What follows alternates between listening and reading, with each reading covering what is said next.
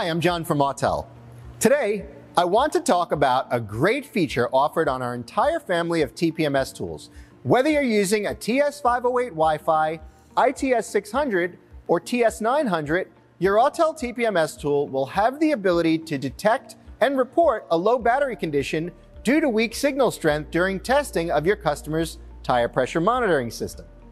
Every car that comes through your bay doors should have a diagnostic performed on the TPMS system. Just because the malfunction indicator light is not illuminated doesn't mean that there are no issues with the system. The wheels may be in the wrong location relative to the location stored in the module, or the battery in one or more of the sensors may be weak, indicating a pending failure of the system.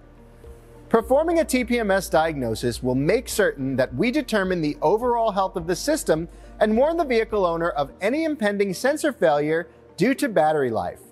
Keep in mind the batteries in modern TPMS sensors are only designed to last 7 to 9 years at the most.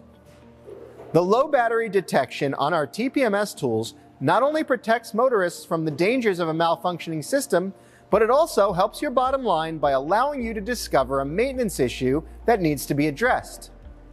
In a typical scenario where a low battery is discovered, all four or five sensors on the vehicle have been in operation for the same period of time it's almost certain that the additional sensors will fail in short order.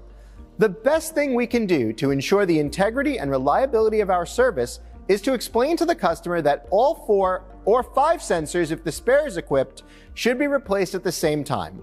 This will prevent the customer from returning for a subsequent visit to replace additional TPMS sensors. If the car is in for a replacement set of tires, there is significant labor overlap, making it less expensive for the customer to have both services performed at the same time. Let's use our ITS 600 to perform a TPMS diagnosis as part of our multi-point inspection. We activate each of our sensors and plug into the vehicle's OBD2 port to complete the process. We can see that there's a low battery icon present on the screen indicating which wheel location has a pending sensor failure. Remember, just because the sensor activated during testing doesn't mean that the battery is in good condition.